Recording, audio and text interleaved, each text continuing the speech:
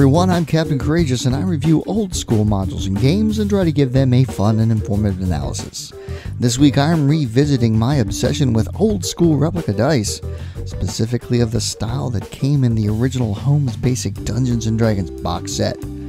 I covered this topic pretty extensively in my previous video, OSR Replica Dice, in which I did a retrospective on the history of dice in Dungeons & Dragons, which you might want to check out. But briefly, the Holmes Basic D&D set from 1977 came with polyhedral dice from an educational company called Creative Publications. The dice were rather malleable, however, and after a bit of rolling, the edges became worn, as you can see here. At the time, gamers jokingly referred to them as low impact dice. Due to the popularity of D&D, there was actually a shortage of the dice and for a time the game came with chits that you could cut out and draw from a cup and included a coupon to send away for actual dice. This is what I got when I purchased my Holmes Basic D&D box set originally. Decades later, I thought of trying to purchase those dice in the interest of completeness and a certain coveting to have the original dice set, but quickly discovered that I was not alone in this desire, and they had become something of a collector's item and were going for outrageous prices on eBay. Last year, I picked up the Gary Con old school replica dice that you see here and these are still available, by the way, on the Gary Con webpage for only $16. These are really nice, but they have the rounded edges of more modern dice. They're a bit larger than the originals, and the GC on every die for the high number sort of bugged me. then I saw the really excellent dice replicas from Threshold Dice Works. Those dice pretty much have become my go to dice, and I absolutely adore them. And after I got those, I felt that my quest was over and moved on. But of course, something always draws me back into things like this. Few weeks ago, this came across my Facebook feed. Man, they sure know how to get me. so I clicked on the link and found these replica dice from Zucati Corp. The mini box is what really caught my attention, which, as you can see, here, the excellent artwork by graphic designer Sam L.L. Reese is a homage to David Sutherland's classic box art. However, the $45 price tag was a bit expensive, I thought, and decided against getting the dice. Besides, they weren't really exact replicas, merely mimicking the colors of the original and more closely resembled the dragon dice from later edition Basic D&D. But you know how it is. These things keep cropping up and coming up in your feed, and I thought, well, it would probably be a good topic for a YouTube video. And with that very thin excuse for a justification, I clicked the buy button, and now here they are. So let's pull the lid off this OSR Holmes Dice replica and see what's inside, shall we? The back of the box provides some details about the contents because, as you will see, there's more than just dice in here. Hmm, what's this? Unfolding reveals some basic old school maps, the reverse of which has some details about the artist and more of her artwork. After that is this nifty old school style character sheet. There are actually two, though I found this one here with the ammo boxes to be a bit more interesting and functional. These are neat, but really, one folded up character sheet isn't that handy. No problem. Using the scanner app on my iPad, a careful lining up, and presto, I now have a PDF I can print out anytime I want. Though, to be honest, I doubt I'll ever use this one when I have old school character sheets by the talented James V. West readily available. Moving on. The dice are finally revealed, and two crayons. Black and red to color in the dice, that's what they're for pulling the dice from their protective plastic wrapper, we can see that these are made of a heavy grade plastic resin. The numbers are nice and large, and the grooves pretty darn deep, which means they'll take to coloring really easy. Now, for those of you who have never seen this done or know what the crayons are for, I'll demonstrate the process. You've got to give the crayon a pretty good pressure, but not too much or you'll end up breaking the crayon. Over and over and over again, coloring in and trying to get as smooth a fill as possible.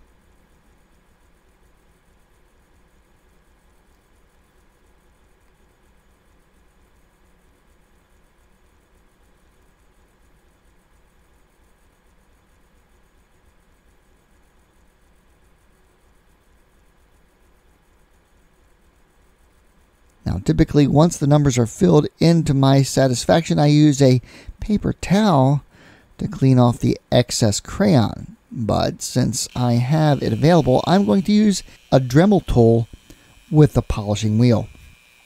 If you use this method, be careful just light touches at the lowest RPM so you don't mar the face of the dice.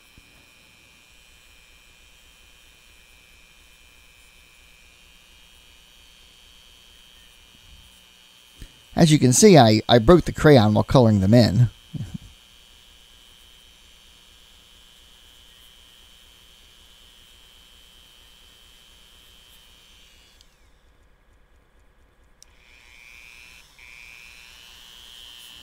I also used the polish tool to smooth off the leftover sprue from the dice casting, and this is the end result. I'm not going to lie, I do not care for the crayon method of coloring in the numbers. If only there was a better, more expedient way. Oh, wait, there is. Paint markers. I just happen to have a whole set. These are markers that use water based acrylics. They are very handy for a variety of cool things.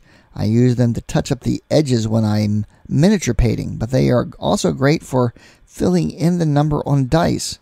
To use these, you activate the paint by pressing down lightly on the tip to get the paint to flow.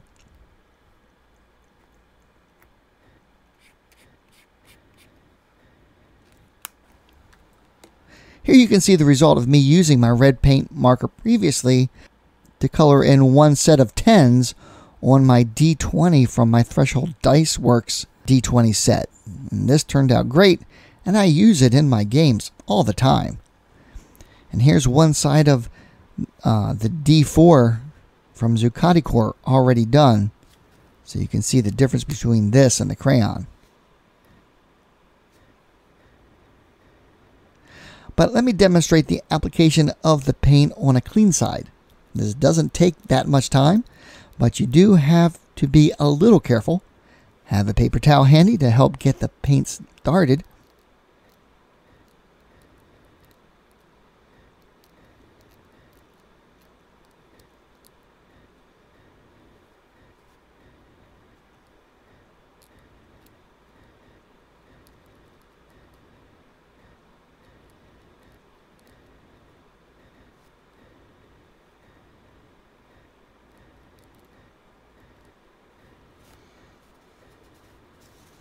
Also, I use a spray bottle of isopropyl alcohol.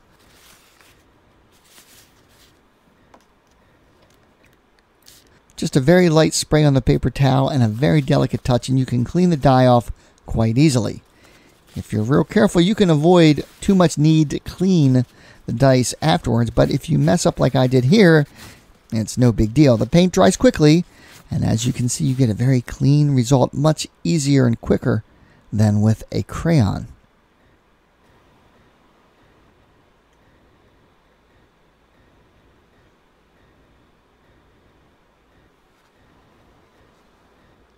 I used white for the green D8 sider just for some variation.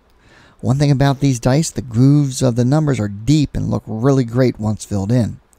If you have to, you can go back and retrace after the paint has had a chance to dry.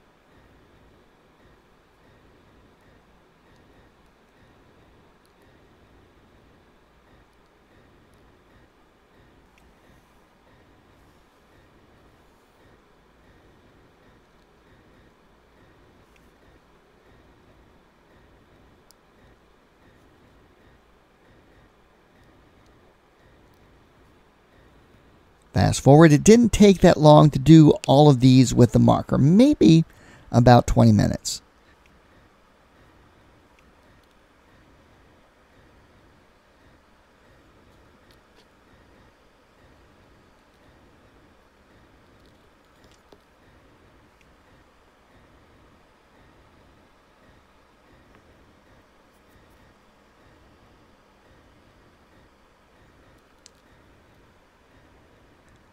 Now, after I got that project done, I started looking at that cute little box. Certainly, I can't throw it away. It's pretty solid and well made and with great artwork. I then realized I had some adhesive felt squares lying around and thought this would make a cool dice tray. Scissors, ruler, pencil, and I'm in business. So it's a simple matter of cutting the felt to size, test fit the cut, of course, and then sticking the felt to the box. The trick is to peel off a small lead tab, but don't start with the tab. Fit in the unpeeled side first and lay it down to the peeled end sticks, then reverse peel the backing paper. And you'll end up with a nice flat surface. Measure and cut the sides, and you're all set. A really nice portable tray and carrier for your dice.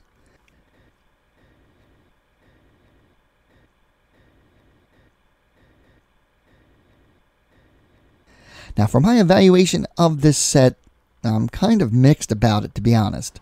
The dice are nice, and the packaging definitely appeals to my nostalgia, but the extras really aren't anything that I'll ever use. This random adventure creator might serve as a springboard, certainly, but there are many such things available elsewhere and with more details and options. The same can be said for these old school maps. Just Google five room dungeons and you'll find that you have at your fingertips dozens of maps better done than this. As for the character sheets, they too aren't anything really to write home about.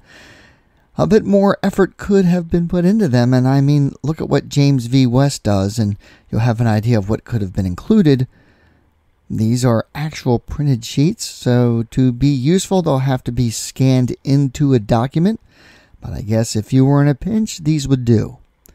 That leaves the dice. They are absolutely well made and look great and roll great, and I'm happy with my purchase. I had a lot of fun inking them in, even though I didn't use the included crayons. However, I still had to carefully smooth out the sprue marks with my Dremel tool. By comparison, the Gary Con dice are pretty nice, smooth, and already done and completely inked in and retail for only $16. Then I have these dice from Threshold Dice Works that essentially sold on Etsy for around the same price as the Zucati dice. These are beautiful, polished dice, already colored in, and do a great job of replicating the original Holmes dice. The Zucati dice look nothing like the Holmes dice, but for the color, and they aren't polished and inked in like the Threshold dice were. Essentially, what I'm saying is that the Zucati dice are very nice. They are a legitimate modern iteration with a fully numbered D20 and actual percentile dice done in the old school colors with sharp edges to give them that old school look. I also like the size of the numbers and their depths. Once colored in, they are super easy to read. A great feature to have for us old grognard eyes. There's also the fact that Zucati has quite a few sets available. The initial run was 1,000 sets. By comparison, as good as Threshold Dice Works dice are, their availability is limited to the production process, so they can be a little hard to get a hold of. They usually sell out the same day they are released. With all of that being said, my initial thought upon seeing the Zucati dice online was that they were a bit expensive for what they were, and after actually getting them in my hands, my evaluation still holds. The box is wonderful. Sam L.L. Reese's artwork is a fun homage, and it's definitely a conversation starter. To add real value to this retrospective dice package, I would suggest that the character sheets and mini dungeons be given a bit more flair and pizzazz to add to their visual appeal and functionality. But that's just my opinion. Uh, have you purchased this dice set? What do you think about them? Please leave a comment below. And that's about all I have for you now. Thank you all so much for watching. As always, uh, to my patrons, Thank you so much for your support and making these videos possible. Please feel free to click the subscribe button and click that little bell so you'll get notifications when I upload new content. Like, comment, and share. Check out my RPG Retro Review Facebook page, at me on Twitter, and check out my Teespring store where you can get some fun gaming swag for your gaming table. And consider supporting the channel by becoming a Patreon. As always, my friends, may your D20 roll true and game on.